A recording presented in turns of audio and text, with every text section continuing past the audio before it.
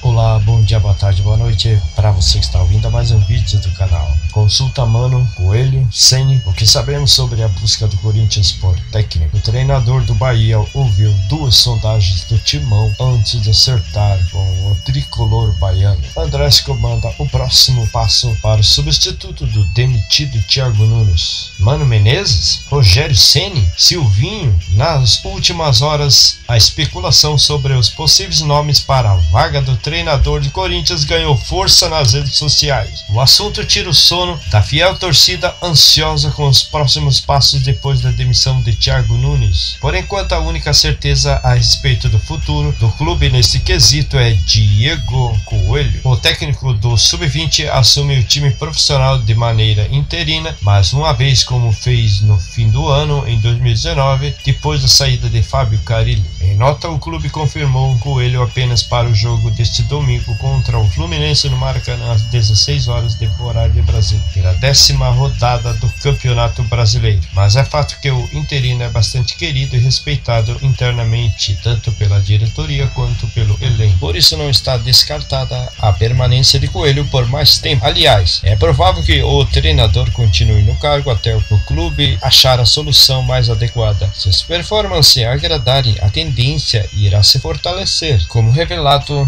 interno pela contratação de Mano Menezes enfureceu Thiago Nunes. Chateado com o fato da pressão por sua saída crescer justamente dentro do clube, ele entendia que já era quase certo que sairia trocado por Mano. De fato, a reportagem apurou que Mano Menezes recebeu duas consultas do Corinthians em 2020, ambas enquanto Thiago ainda estava no cargo, sem a intenção de desrespeitar o trabalho de Thiago Nunes e tampouco de ficar esperando o clube tomar algum tipo de decisão. Mano que teve também sondagens de outros clubes, optou pelo Bahia. Encontrou no tricolor de aço um projeto com o norte bem definido, não há chance de deixar Salvador. Estrangeiro não. O novo treinador do Corinthians não será estrangeiro, pelo menos é o que passa André Sanches. Nesse momento, o presidente ainda traumatizado com a péssima passagem do argentino Daniel Passarella pelo clube em 2005, não pretende contratar alguém de fora do país. O Corinthians tem diretor de futebol desde a saída de Duílio Monteiro Alves para se candidatar à presidência em eleições marcadas para 28 de novembro. Ainda estuda os nomes dos possíveis no mercado. O fato é que, assim como fez com Thiago Nunes, ao propor um contrato até o fim de seu mandato, Andrés tende a pensar resolver o problema até dezembro e não mais do que isso. Outros nomes como Rogério Ceni lidera a opinião popular. O técnico do Fortaleza é ídolo máximo do São Paulo e foi recentemente elogiado pelo presidente Andrés Sanches. Até a noite desta última sexta-feira, ele não havia recebido nenhum contato do Corinthians. Situação parecida com Silvinho especulado por postulante ao cargo nas últimas negociações do Corinthians, Abel Braga, Roger Machado e Dorival Júnior são outros nomes bem conhecidos que estão no mercado. Uma enquete no Globo Esporte pergunta quem deve ser o novo técnico do Corinthians após a demissão de Thiago Nunes. Rogério Ceni lidera com 27,77%.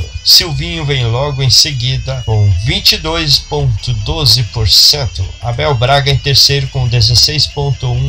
Outros 7,86%. Diego Coelho 7,44%. Fábio Carilli 7,09%. Mano Menezes 6,1%. E na última colocação, Dorival Júnior 5,52%. Quem será o novo técnico do Timão? Isso vai ficar para os próximos capítulos. Um abraço a todos, deixe o seu like. Até o próximo vídeo.